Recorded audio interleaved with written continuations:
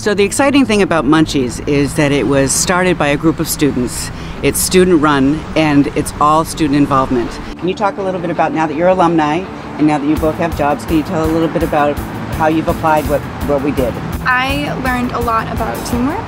Um, you learn a lot in the classroom about um, how much communication it is. When coming to work on the food truck in the finance department, we were able to take real life numbers and really got to apply them into a balance sheet that would make more sense to us.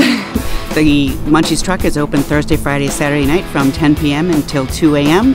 and we love seeing our students and having them there. Food culture at the culinary program here at SNHU. We have a student-run restaurant. It's called The Quill. They do everything. They figure out what we're going to cook. They do American cuisine, gourmet. They do classical cuisine, international cuisine.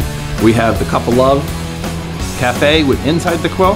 It's a fair trade coffee roasting, uh, barista style cafe and bakery. The bakers bring down product every day. The students decide what they're going to make.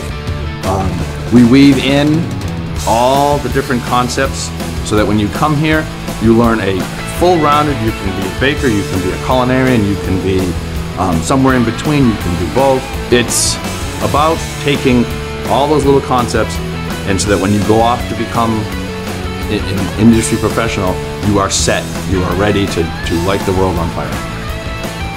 So we develop a food service program here to feed our students.